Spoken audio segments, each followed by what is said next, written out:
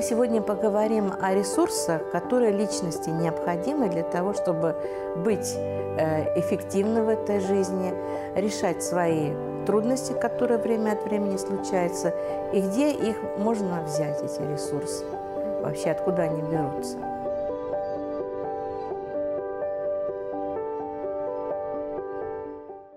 Здравствуйте, дорогие друзья! Сегодня мы с вами коснемся темы – с которой сталкивается каждый человек. Это жизненные трудности. Как мы к ним относимся, где мы берем ресурсы, чтобы их преодолеть, откуда вообще эти ресурсы появляются и э, какие они вообще бывают.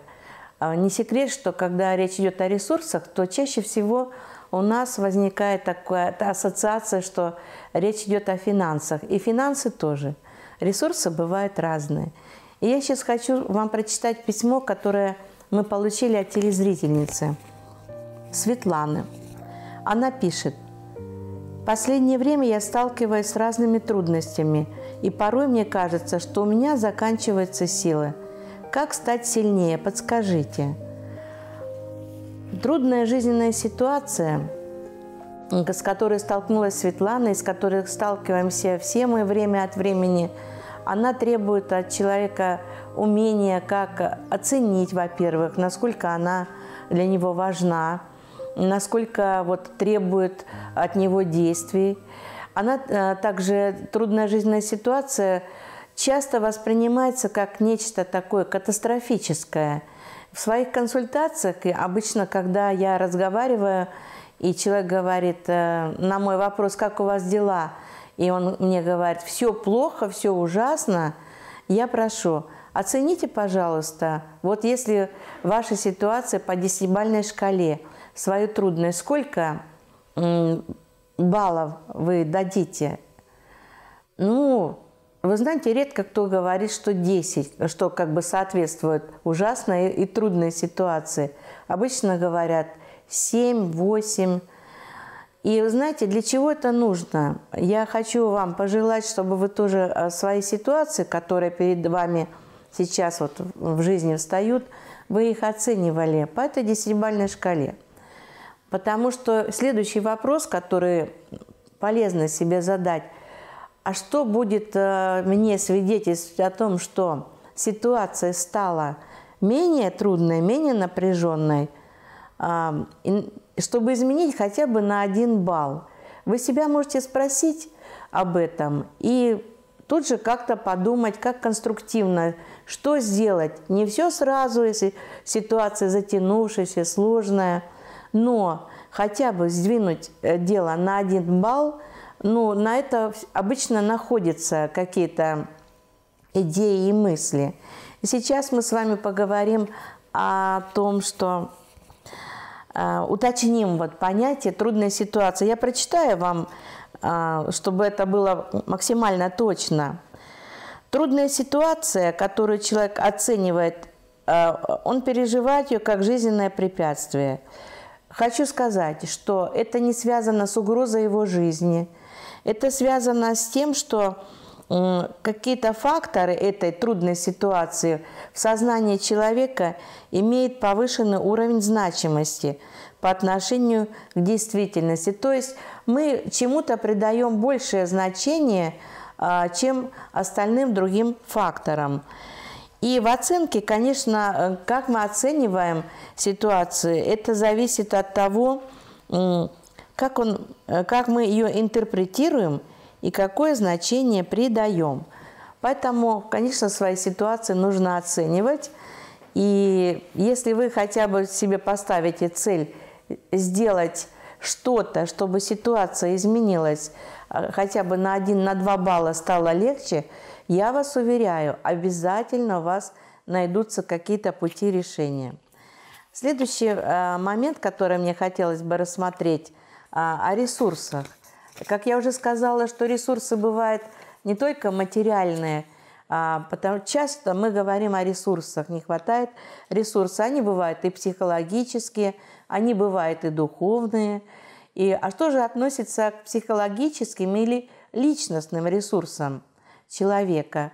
А, к ним относится а, уверенность в себе, адекватная самооценка, способность человека реализовать свои стратегии а, поведения или жизни, которые у него есть внутри себя. Конечно, их нужно иметь, эти стратегии, и не плыть по течению, но все-таки взять контроль над своей жизнью в свои руки. Тогда и какая-то стратегия будет появляться. Есть также ресурсы образовательные. То есть, смотрите, и ресурс – это такая штука интересная, что э, мы его можем накопить, мы можем его аккумулировать, мы можем его растратить. Как вот э, в Библии пример такой есть. Блудный сын получил ресурс от своего отца, взял наследство прежде времени, пошел его и растратил. Ну и все ресурсы, как материальные, так и психологические, и духовные даже ресурсы можно потратить, растратить. Но хорошая новость в том, что их можно и обновить. Все дело заключается в том, как мы подходим. И все дело заключается здесь, друзья. А, заключается, а, как кто-то говорил, между двумя ушами. Как мы мыслим, как мы подходим к своей жизни – я думаю, что вот это понимание, что ресурс – это не нечто такое данное кому-то. Вот у кого-то есть ресурс, а у меня нет. Вот такой я человек.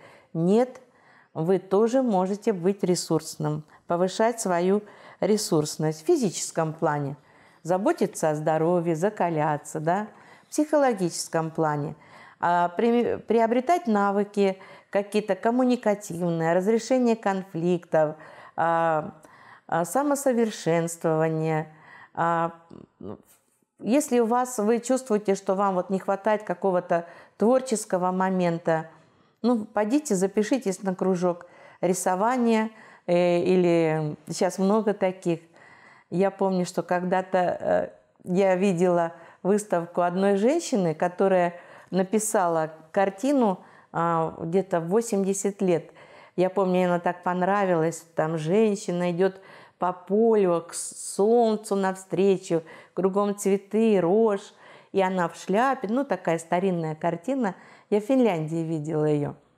Я, я себе сказала, ну, когда мне будет вот лет 70, я точно начну рисовать. Знаете, пока время еще не наступило, но я его жду, что собираюсь заняться еще и рисованием или пойти поучиться на арт-терапии. А итак, мы возвращаемся к ресурсам. Люди действительно бывают э, разные и по темпераменту, и по возможностям, и по, по тому, в какой они семье выросли. Кто-то обладает от природы и от, как говорится, от окружения ресурсами, у кого-то их нет. И кто-то настолько истощился, допустим, какая-то трудная, затяжная кризисная ситуация. Что может быть для вас ресурсом? А ресурсом может быть понимание причин и понимание того, что зависит лично от меня. Обычно к нам а, обращаются родители детей, которые, а, ну, у них проблемы или с какими-то зависимостями, или что-то не ладится у них в жизни, на работе. И часто вот эти люди, они настолько поглощены жизнью своих близких, что действительно у них и физические, и психологические, и душевные силы заканчиваются, и духовно они чувствуют, что они слабеют. И в такой ситуации ресурс – это знание о, о своей ситуации. Как верующему человеку Бог тоже предлагает ресурс. Он говорит, «Придите ко мне, все труждающиеся и обремененные», говорит Иисус в одном из Евангелий, «и я успокою вас». Или «придите ко мне». Что значит «придите ко мне»? Придите к тому, кто есть Бог, кто есть Господь, и которому все возможно. А даже вот в, одной, в одном стихе из Библии Филиппийцам 4.13 а, написано, что «я все могу в укрепляющем меня Иисусе Христе». Знаете, ресурсы могут а, они, я, как я уже сказала, что их можно аккумулировать, накапливать. И может быть, как э, вам кажется, что сейчас, ну зачем я пойду на этот тренинг? Зачем я буду э, слушать там какие-то проповеди или ходить и самообразовываться, приобретать новые знания, компетенции. Может быть, сегодня э, вы не видите еще, куда вы примените, но когда у вас это, она появится, вот я вас уверяю, всегда найдется место, точка, куда вы приложите. Приведу пример. У меня есть сестра, которая живет в сельской местности. Она уже э, не молодая женщина. И услышав о том, что ее подруги идут на курсы по вождению, она решила записаться и пойти поучиться вместе с ними, так как ее работа находится довольно-таки далеко, в 10 километрах от того места, где она живет. Ей говорили некоторые доброходцы, зачем ты туда идешь, тратишь деньги, а, ты никогда не купишь машину, на чем ты будешь ездить, вот тебе делать нечего. Но вот моя сестра решила, что она приобретет этот ресурс. Водительские права для нее были ресурсом. Она сказала, будут права а, на вождение, будет и машина. Вы знаете, и машина не появлялась до тех пор, пока она не получила права. Зато она мотивировала себя тем, что вместе э, с друзьями, э, вместе легко учиться, легко сдавать. И они все получили права, и через какое-то время у нее появилась машина. А, она не новая, не новая такая, но вполне она на ней хорошо ездит. И вот смотрите, новость какая хорошая для всех. В том, что какой бы трудность вы ни переживали – Помните, что главным ресурсом а, человека является его мышление, потому что каковы мысли в душе человека, таковы он сам. Ресурсы, они формируются в детстве. Формируются тогда, когда ребенок учится инициативности, самостоятельности, так э, называемые возрастные кризисы проходят правильно с помощью родителей. И тогда, вырастая, он становится уже а, таким человеком автономным, который внутри себя решает, что ему делать и как. И у него есть свои ориентиры. Конечно, наилучшие ориентиры – это духовные, а, духовная система координат, в которой человек ориентируется, исходя из того, что Бог принимает его, Бог относится к нему хорошо. Даже если он сам к себе плохо относится, то Бог относится к нему хорошо и он может принимать решения. И вот, вот эта вот автономность, то, вот способность оценивать себя, адекватно принимать решения, это тоже является одним из ресурсов личности. Есть такое понятие, как самоактуализация, то есть считается, что ну, в, какой, в психологической школе а, известный психолог Абрахам Масло, он считает, что человек стремится к тому, чтобы самоактуализироваться, то есть все свои таланты, все свои желания, способности творческие э, реализовать для того, чтобы принести пользу другим людям, испытывать от этого удовлетворенность. Так вот, друзья, автономность это является очень важным фактором личности для того, чтобы она могла а, реализовать все то, весь тот потенциал, который у нее есть. У меня к вам вопрос. А вы знаете свой потенциал? Я вот думаю, что мы не все знаем, на что мы способны. Но кто знает об этом? Об этом знает Бог. В Писании написано в 138-м псалме, э, что в Твоей книге жизни были записаны все дни мои, когда ни одного из них еще не было. Ты создал меня в чреве матери моей.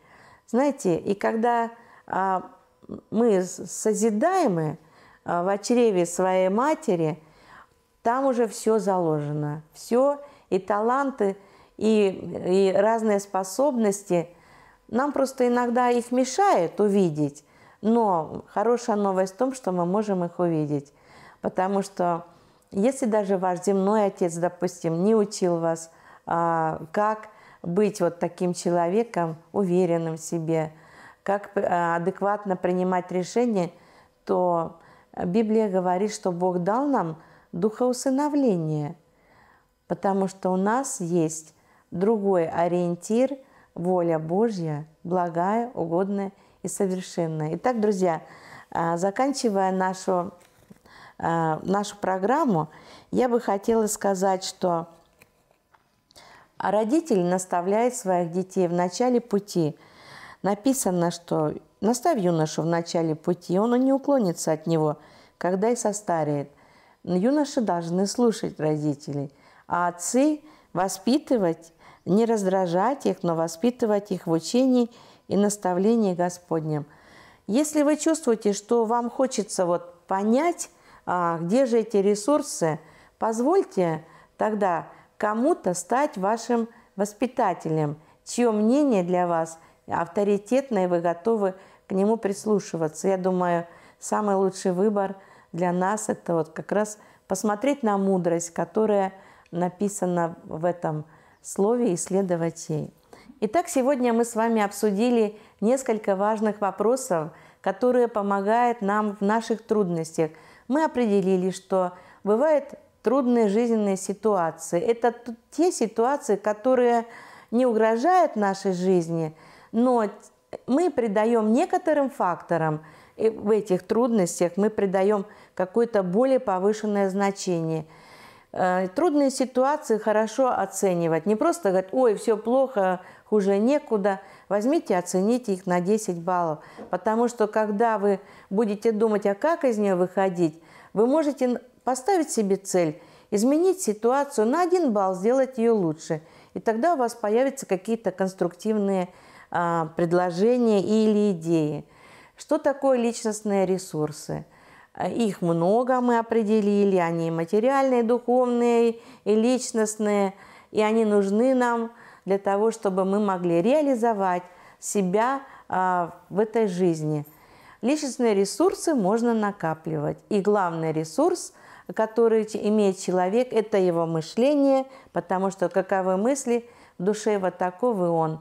Поэтому, друзья, мы желаем вам быть а, ресурсными людьми, надейтесь на то, что Господь поможет вам а, аккумулировать, приобретать ресурсы. Он будет давать вам идеи. Беритесь, решайте и становитесь людьми, которые побеждают трудные жизненные ситуации. Всего доброго. До свидания.